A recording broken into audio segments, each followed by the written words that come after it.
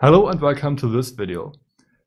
If you are using Lego electronic stuff, battery boxes or stuff like that, then sooner or later you will find the problem that batteries get dry or uh, get empty and then you have to buy new ones or you have to recharge them and maybe you ask yourself which battery or which rechargeable battery is the best option.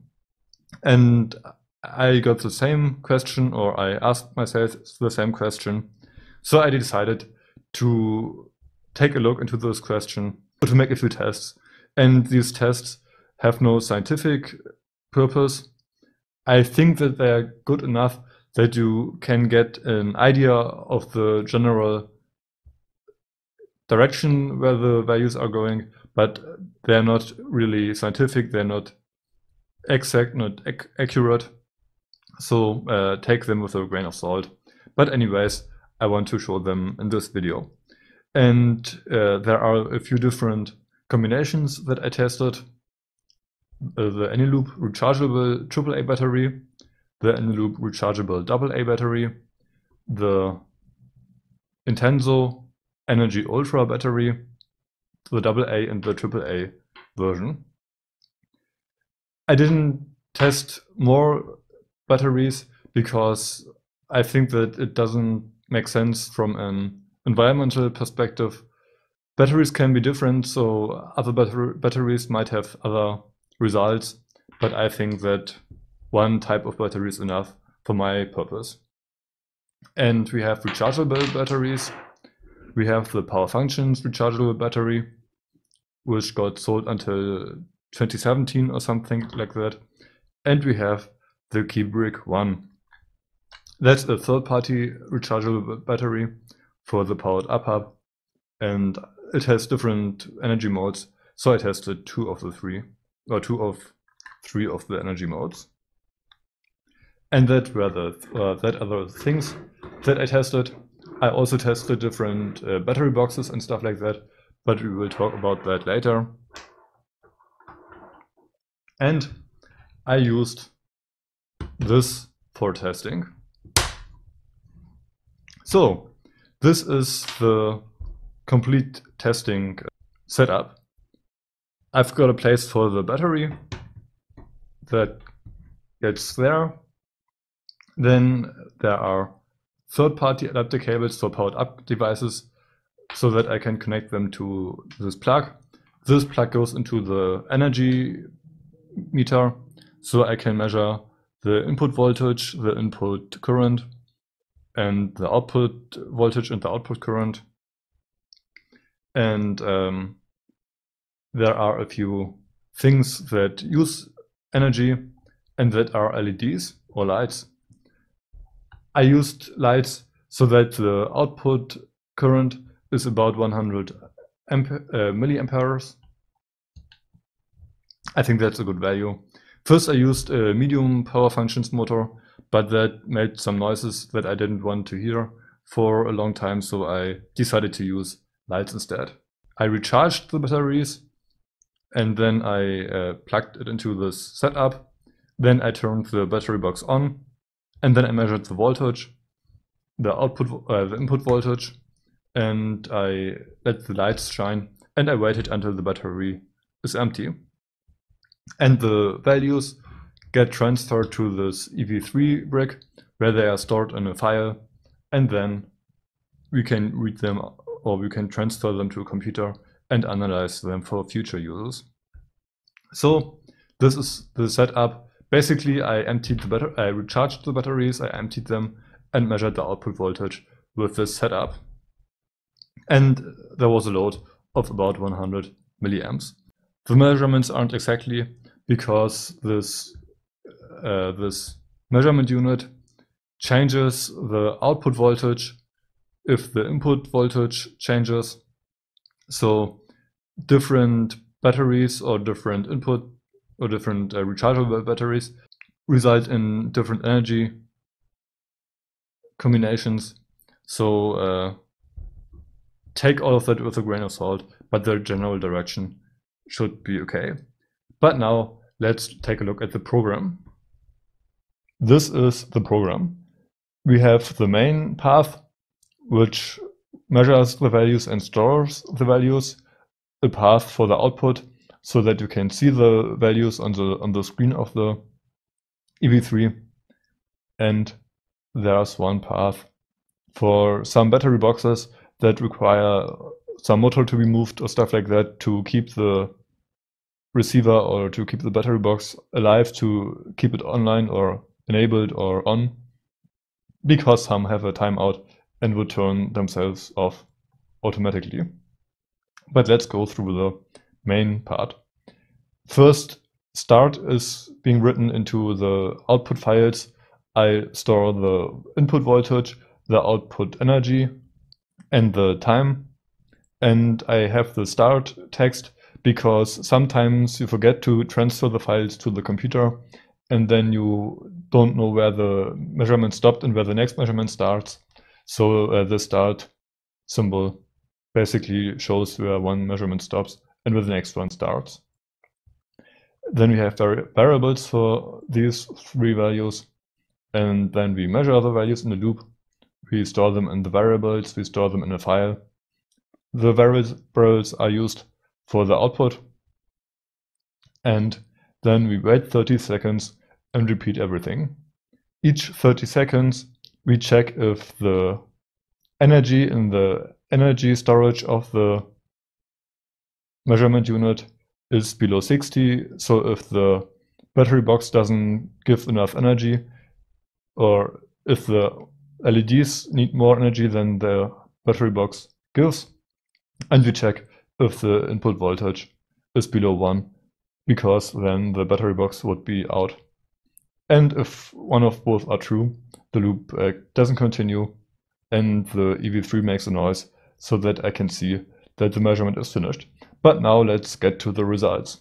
Here we are again. And first of all, the description of the diagrams is in German, sorry for that, but I will translate everything so you should understand it. In Germany we say Akku, in English you'd uh, say rechargeable battery. So this is an example for a Control Plus hub that has a rechargeable battery. The Eneloop AA battery, I think. This is a normal diagram for these measurements, and I want to explain how the diagrams look like and what they tell us. We have two axes. On the x-axis, we have the time in hours. So in this case, the batteries or the rechargeable batteries lasted for around 8 hours. And we have the voltage on the y-axis. So it starts at 8 volts and then it is pretty constant in the middle part around 7.4 volts or something like that. And then the value drops until it's 0 volts. I will publish all of the files so that you can create your own diagrams. So you can find them in the, in the description. In this diagram, we have a comparison of the different batteries and rechargeable batteries. And keep in mind that all of these values are not scientific. I don't have any scientific requirements. So these measurements are only maybe for a general idea of how everything might behave, but they're not, or you shouldn't use them as final proof that the curve would look exactly like this in your case. And here we have four diagrams. In blue, we have the AA batteries. In red, we have the AAA batteries. In green, we have the AA rechargeable batteries, the loop batteries, the uh, normal batteries that aren't rechargeable are Intenso batteries. And in purple, we have the AAA rechargeable batteries. And this is a bit problematic because there are many different brands of rechargeable batteries and normal batteries. So this comparison might not be fair because the normal batteries are pretty cheap and I think that Eneloop is more on the expensive side. So it's not really fair. But it this diagram shows that there's actually not that much of a difference between normal batteries and rechargeable batteries.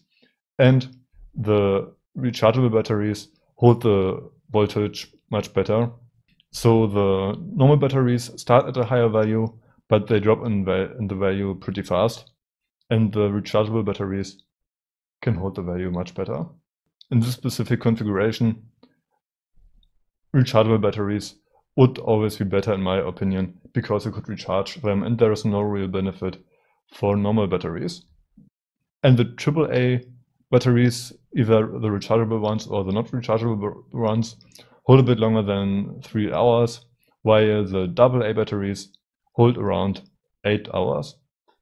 I couldn't finish the measurement for the AA batteries because the input voltage was too low for the measurement unit and that's the reason why it couldn't measure the values anymore.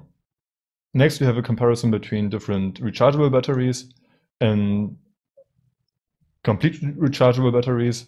So these are only for complete uh, batteries. It's not for double A AA or AAA batteries, but rechargeable batteries that contain the complete thing. So we have the KeyBrick 1, which is a replacement for the battery holder and holds a rechargeable battery. And we have the Lego Power Functions rechargeable battery. And the KeyBrick 1 has two modes. It has the boost mode, which gives more voltage, but it doesn't last as long. It has a normal mode, which has less voltage but lasts longer.